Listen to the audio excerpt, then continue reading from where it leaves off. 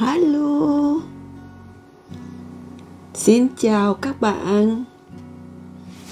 Có nhiều người muốn nói rằng là mình phải nên giới thiệu về mình.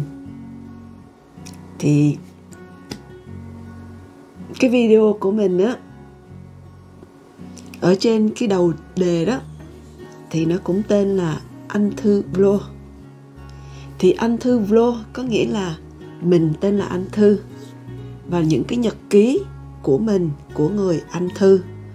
Và không có ai hết. Thì đương nhiên, khi người ta bấm vào đó là người ta thấy tên của mình rồi.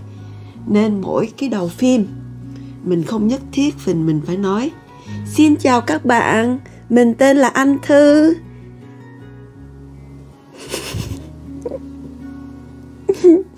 Giống như mấy bà cụ mà đi chợ mỗi ngày á ở đây mình không có đi chợ mỗi ngày.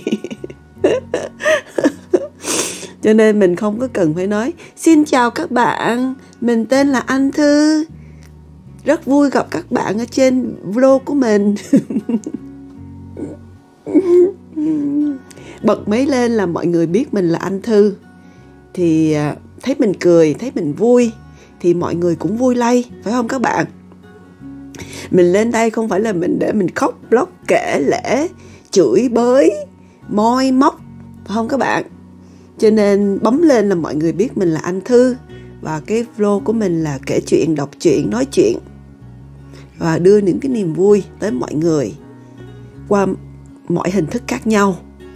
Hoặc là những, đọc những bài báo, đọc những cái comment gì đó rồi để thảo luận, gọi là podcast ừ. còn vlog vlog là nhật ký nói lên những chuyện và những vấn đề mình làm hàng ngày gọi là nhật ký. Đó nó khác nhau như vậy còn là podcast là mình đưa lên một cái đề tài gì đó mình đọc rồi mình thảo luận. À, cái người có mặt thảo luận hoặc là người không có mặt thì có thể để lại comment ý kiến. Đó là một hình thức postcard. Còn đó là mình nhắn lại ừ, nhắc lại lần thứ hai nha.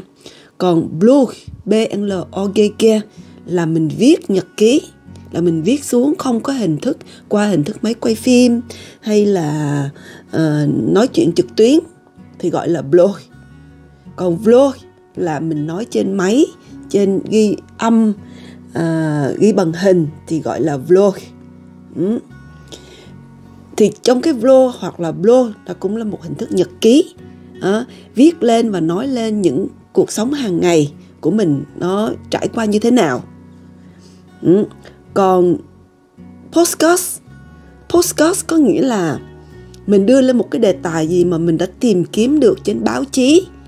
À, mình đọc lại mình thuyết trình lại mình diễn tả lại qua một cái sự kiện gì đó và mình có sự lời đóng góp từ bản thân mình hoặc là mình mong muốn được sự đóng góp của mọi người những ý kiến của mọi người đó, thì gọi là postcard postcard này cũng có thể là có một người bên cạnh mình để mà đối ngẫu với mình đó một hình thức chia sẻ qua lại qua một cái dự kiện gì đó một cái tin tức gì đó mình đã tìm kiếm được đó thì gọi là postcard còn chứ không có mình không có lên đây để mình tự giới thiệu bản thân cá nhân của mình về vấn đề nội tâm sâu xa trong gia đình và đoàn thể gia đình của mình hoặc là cá nhân của mình đi lên trên uh, mạng.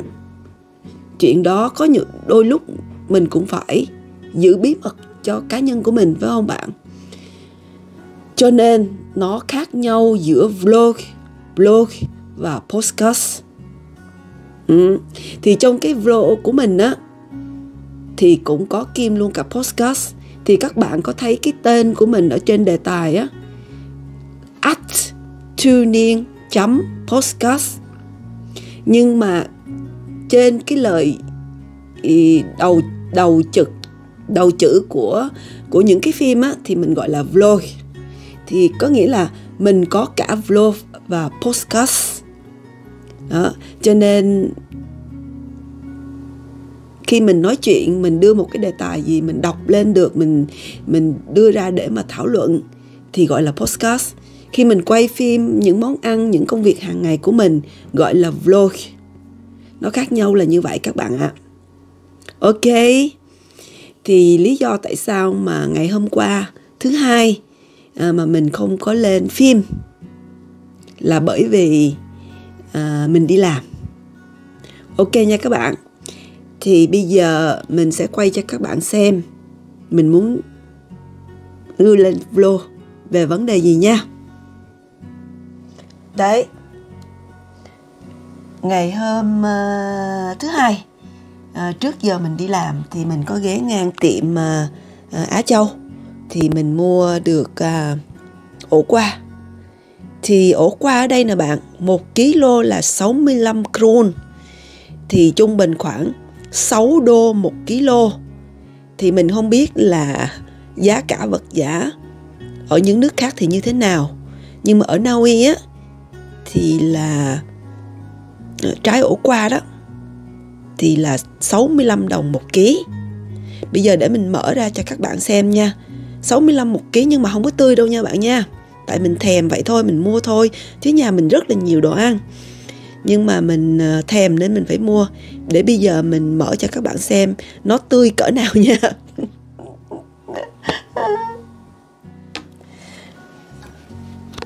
mình ờ, vừa làm ờ, ổ qua mình vừa kể chuyện cho các bạn nghe là lý do gì mà mình không có lên video ngày hôm qua là ngày thứ hai mà hôm nay thứ ba mình mới lên video. Và có bạn thì muốn là mình nói thêm về mình một chút. Thì mình cũng đính chính từ đầu phim là nó khác nhau giữa vlog và blog và podcast. Thì cái video các bạn vừa xem vừa rồi hôm bữa chủ nhật, đó là một hình thức podcast. Thì hôm nay là vlog là nói về những công việc hàng ngày à, hôm thứ hai mình không lên phim được là bởi vì mình à, à, đi làm. À, mình đi làm ca đêm về rất là trễ rồi rất là nhiều thức ăn mang về mà mình phải uh, thu gọn cho sạch sẽ rồi đưa vào ngăn đá. Cho nên mình không có lên phim hôm uh, nửa đêm của ngày chủ nhật qua ngày thứ uh, nửa đêm thứ hai qua ngày thứ ba đây bây giờ là ngày thứ ba. Thì mình làm à, ổ qua. Rồi mình nói chuyện với các bạn cho vui nhé. Đây. Hồi hồi xưa mình còn ở chung với chồng mình á à, có con nhỏ. Thì lúc đó à, ba mẹ ba mình vẫn còn sống. Cho nên à, lúc đó thì cũng lâu lâu thường thường về thăm nhà. À, ba mẹ mình thì không có ăn được à, những món à, ăn à, tây. Cho nên thường thường mà mỗi lần về á tụ họp gia đình á thì mình thường làm món ăn Việt Nam. Mà chồng của mình à, chồng chồng đầu đời của mình á cũng vậy. Anh ta không có thích ăn à, món tây. Anh ta chỉ thích ăn món ăn Việt Nam thôi. Cho nên à, lúc đó mình hay làm món ăn Việt Nam lắm. Nhưng mà từ khi mình ở một mình á từ khi có nghĩa là hơn ba chục năm con coi con mình năm nay 40 tuổi thì là mình ly dị lúc con mình 8 tuổi. Rồi mình có người sống chung cũng sống được um, 6 năm. Thì là mình uh, ra ở riêng. Thì 8 con mình 8 tuổi cộng với 6 nữa.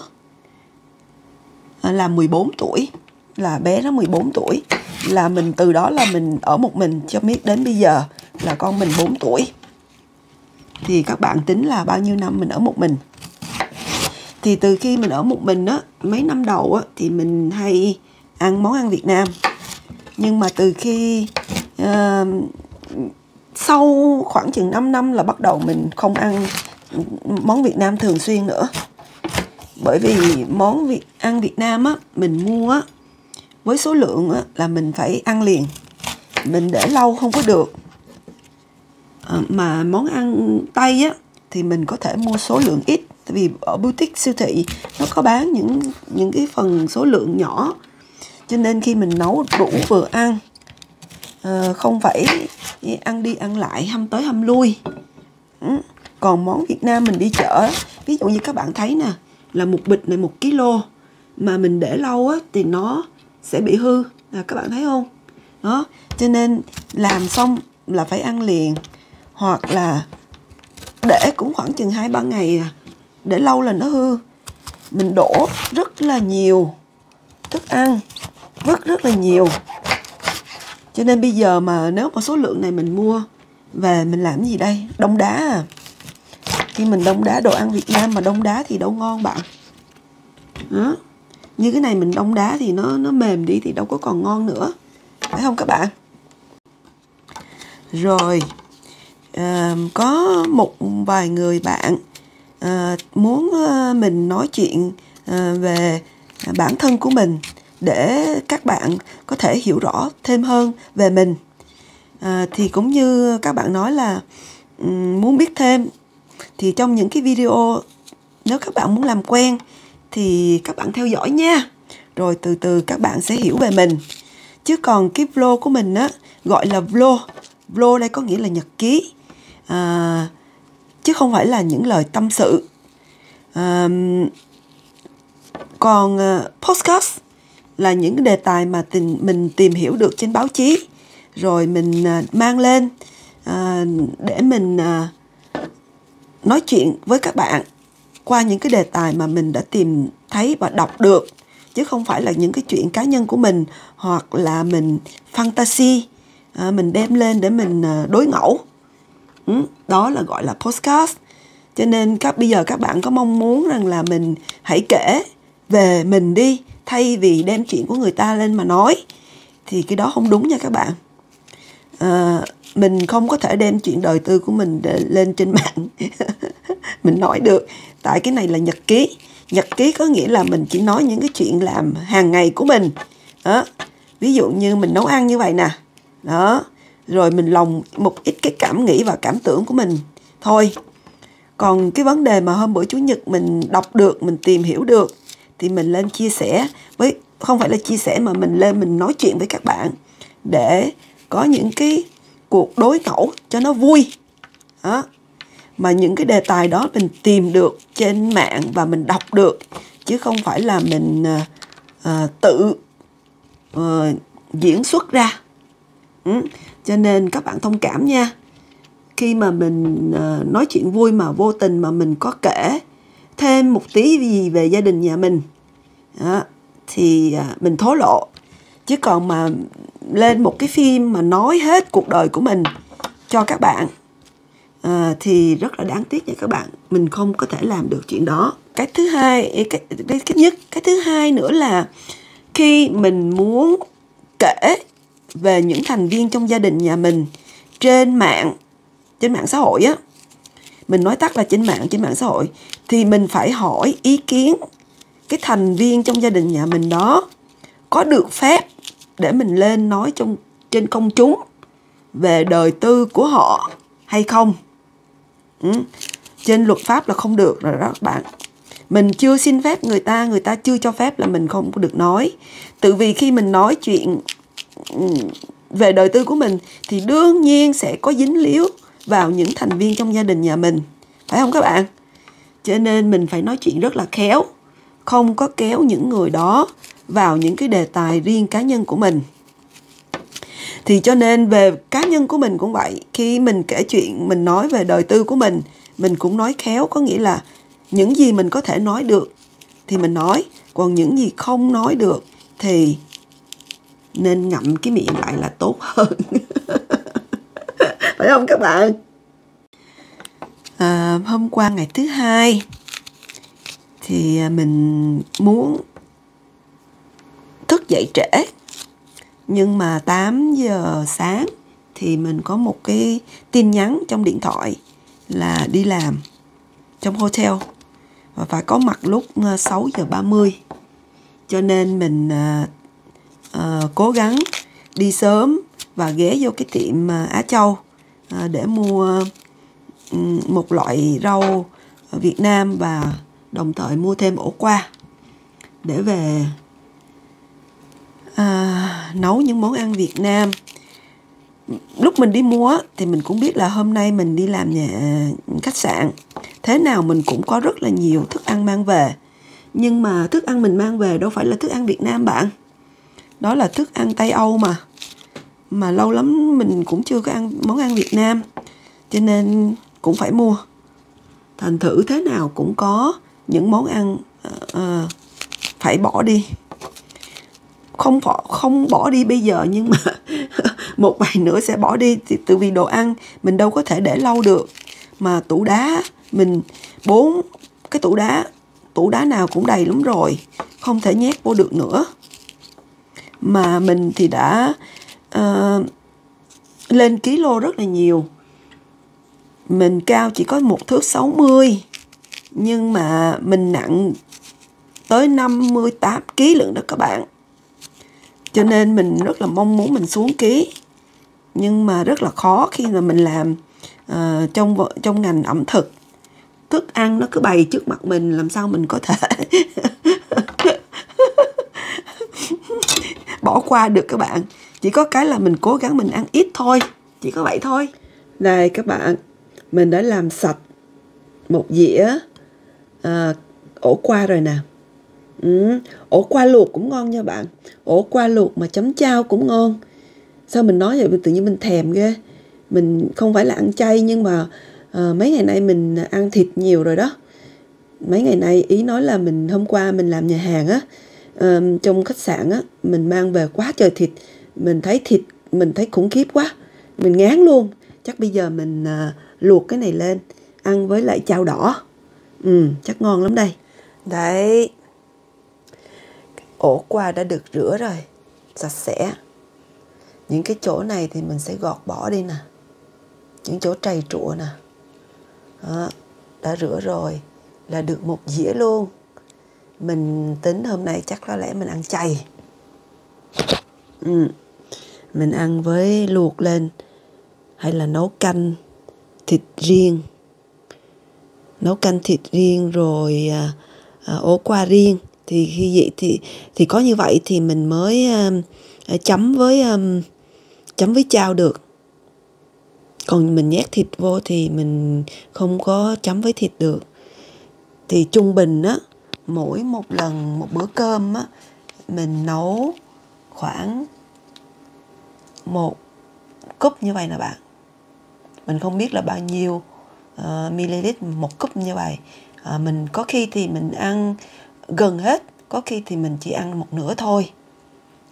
Còn đây là cái nồi mini mini cook rice của mình à. bé tí xíu à bạn. Nó mình nấu được chỉ có uh, nửa nửa lít thôi. Đó. Nửa lít thôi. Không có nấu được nhiều. Bé tí và rất là dễ thương nó đủ cho một người ăn hoặc là hai người hai người ăn. Cái nồi này nè, mình nấu cho hai người ăn cũng được. Mà lượng của nó chỉ là nửa lít thôi nha bạn. Nửa lít thôi. Bé bé xinh xinh. Đấy là nửa lít nha. Chứ còn nhà mình có hai cái nồi bự như vậy nữa mà là 26 lít. Mỗi một nồi 26 lít rồi còn có hai cái nồi như vậy nữa thì mỗi một nồi là 5 lít. Đó. chứ không phải là mình chỉ có một cái nồi bé tí như vậy đâu. Ok bây giờ mình bắt đầu chuẩn bị nấu cơm và nấu canh. Đấy các bạn bữa cơm cũng ra mâm rồi đây. Đó các bạn thấy cái cái lẩu bé bé xinh xinh của mình không? À, cái này mình thường dùng để mình hâm uh, nước sốt hoặc là mình nấu canh hoặc là mình uh, mang đi uh, mang đi chơi đi chơi xa đó mình hay mang theo. Đấy thì là một nồi nước dùng. Mình không phải ăn lẩu đâu bạn để nấu canh ổ qua thì trong đây gồm có tôm. Ừ. mình đã tao sẵn rồi. Mình cho vào đây rồi. Là tôm đó các bạn. Đấy.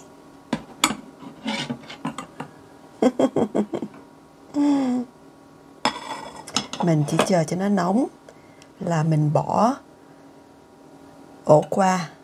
Ổ qua mình thái, không có thái lát mà mình thái nó hơi dày như vậy nè. Đó thì ăn nó giòn giòn, rất là ngon. Thì khi mình bỏ ổ qua vô rồi á, thì mình cho ngò vào. Ừ. nếu mình thích nữa thì cho bánh phở vào. Thì mình ăn ờ, canh với cơm. Đó hay là với bánh phở.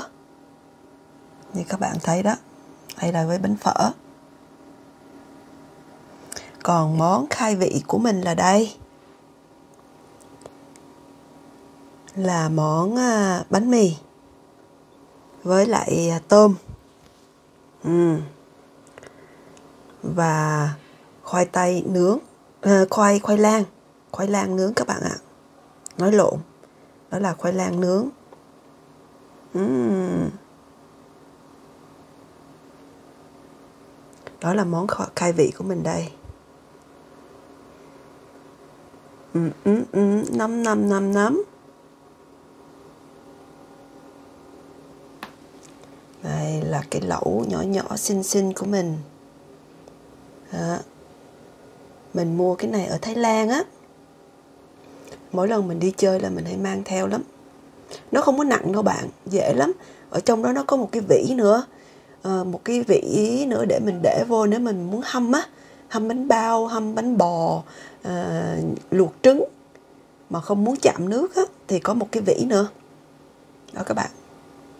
Đây là bữa ăn tối vào ngày thứ ba của mình đây của tuần thứ 42 ừ. món khai vị gồm có khoai lang nướng bánh mì với tôm. Và món chính là cơm với canh. À, cơm với canh. Thì canh gì là canh ổ qua. Thì mình có thêm một rổ bánh mì nữa.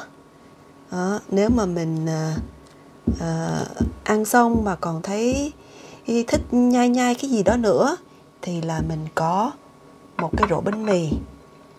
Thì mình thích thì mình sẽ uh, cho ra cheese đó. mình ờ, uh, chét chi lên gọi là món ăn uh, cuối cùng. Có ai nói là cuộc đời thì độc thân là cô đơn đâu bạn? Cũng tươm tất như mọi người vậy phải không các bạn? Đây là món ăn tối của mình đây. Ừ, ừ, ừ. ok nha các bạn. Để mình ăn cơm xong rồi mình nói chuyện. Rồi mình uh, upload uh, cái phim lên cho các bạn xem nha. Ok. See you later. Bye bye. Đấy. Năm năm xem xem begu rất là ngon. Cái món khai vị của mình cũng đã xong thì là cái nồi canh của mình cũng vừa chín. Uhm, rất là hấp dẫn. Canh ổ qua với tôm. Uhm. rồi rồi rồi. Cái cái nồi nhỏ nhỏ này rất là xinh nha các bạn. Tại vì khi mình đổ nước dùng vào á thì là nước nó còn ấm cho nên nó đun hơi lâu.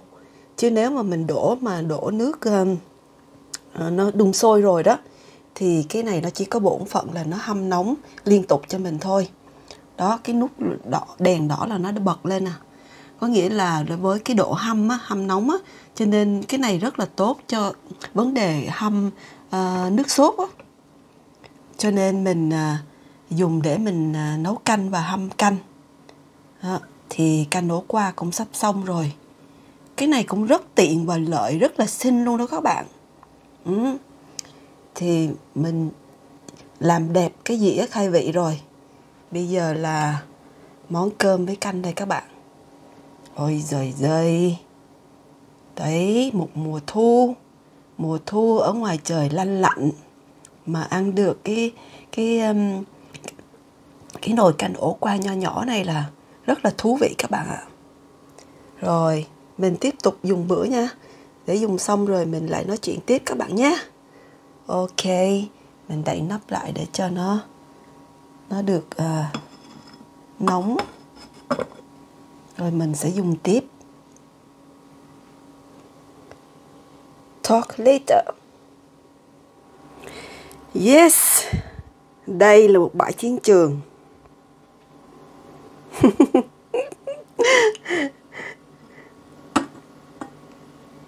nồi canh mình cũng còn. Đó các bạn thấy mình ăn không có nhiều. À, rồi cũng còn một nồi canh. Ừ. mình chỉ ăn có một chén cơm thôi các bạn ơi. Ừ. ổ qua thì cũng còn. Đấy chỉ có chén ngò thì hết. Bánh mì thì mình cũng không rớ tới. Mình càng lớn tuổi thì mình càng ăn ít. Đó, hồi trẻ trời ơi mình đớp lia lịa luôn. Bây giờ là cái món dessert của mình đây. Đó là kem franc. Ừ, rất là thơm rất là ngon và rất là lạnh. Đấy. Tươi mát rượi. Đây là món dessert của mình. Ok các bạn. Bãi chiến trường được thay thế bằng dĩa dessert. Ăn trắng miệng. Ok. Mình nói chuyện sau nha bạn nha.